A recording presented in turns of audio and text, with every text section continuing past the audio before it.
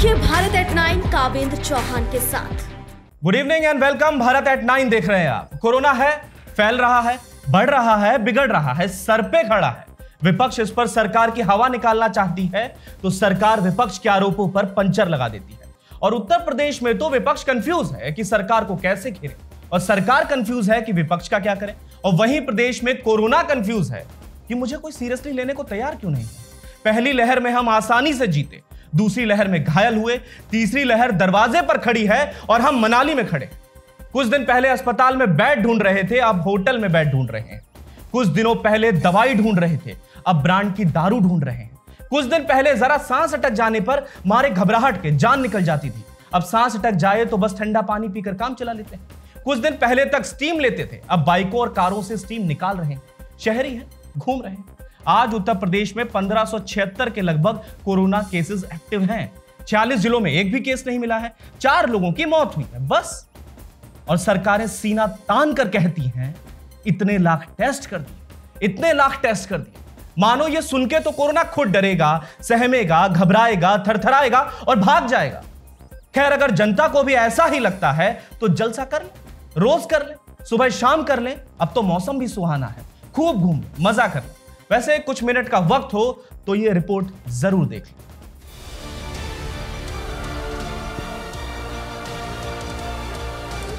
क्या देश में कोरोना की तीसरी लहर दस्तक दे चुकी है?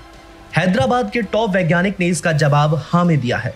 उन्होंने दावा किया है कि अनुमान है कि 4 जुलाई को ही तीसरी लहर आ चुकी है। जाने माने भौतिक विज्ञानी डॉक्टर विपिन श्रीवास्तव पिछले 15 महीनों से संक्रमण के आंकड़ों और डेथ रेट यानी मृत्यु दर का विश्लेषण करते रहे हैं। हैदराबाद यूनिवर्सिटी के प्रो वाइस चांसलर रहे श्रीवास्तव ने बताया कि 4 जुलाई से कोरोना संक्रमण के नए मामले और मौतें इशारा करते हैं कि देश में तीसरी लहर आ चुकी है। यह ट्रेंड फरवरी 2021 के पहले हफ़्ते जैसा है। तब देश में कोरोना की दूसरी लहर ने दस्तक दी थी।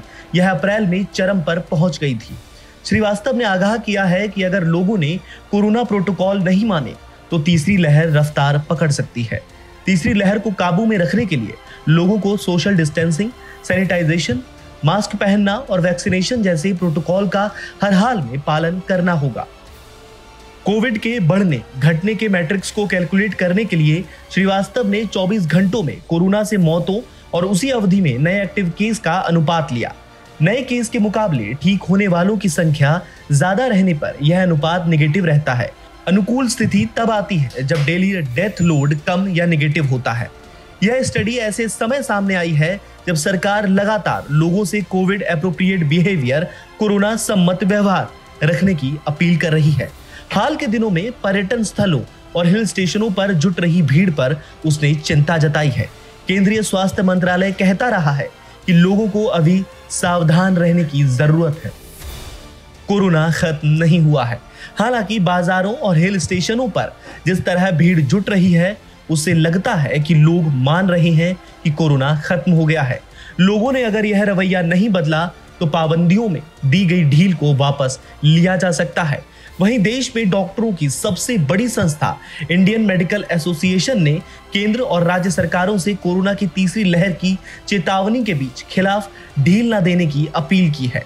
इसके साथ ही आईएमए ने कहा है कि देश के कई हिस्सों में जिस तरह से लोग और अथॉरिटीज ने सावधानियाँ बरतनी कम कर दी हैं, उसे देखकर दुख होता है। तो दर्शकों, पहली बार जब कोरोना आया, अनजान था। लेकिन हमने मजबूती के साथ ये लड़ाई लड़ी और लगभग लगभग जीते भी। हाँ दूसरी बार में हालात एक पल को बेकाबू हो गए थे। लेकिन फिर भी सभी ने साथ मिलकर एक दूसरे की मदद कर ऐसे हालातों का भी सामना किया है। अब फाइनल फाइट बाकी। लेकिन इस बार खतरा और बड़ा है। भारत में 8,932 किलोमीटर दूर। ये भारत से डिस्टेंस जो है इंडिया टू इंडोनेशिया की। इंडोनेशिया का बताता हूँ। इंडोनेशिया में कहर बरपा हुआ है। इस छोटे से देश में कोरोना मौत का दूसरा नाम बनकर टूट पड़ा है। हज़ार से ज़्यादा लाशें रोज गिर रही हैं। कोरोना के नए केस के सभी रिकॉर्ड आज टूट गए। साउथ ईस्ट एशिया का यह छोटा सा देश घुटनों पर आ गया है। डेल्टा प्लस वेरिएंट का तांडव विकराल हो रहा है। अब खतरा खुद समझ लीजिए।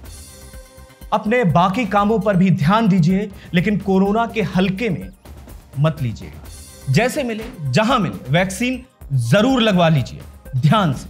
बाकी कल एक बार फिर मुलाकात होगी आपसे, और किसी अन्य मुद्दे पर खूब बात होगी।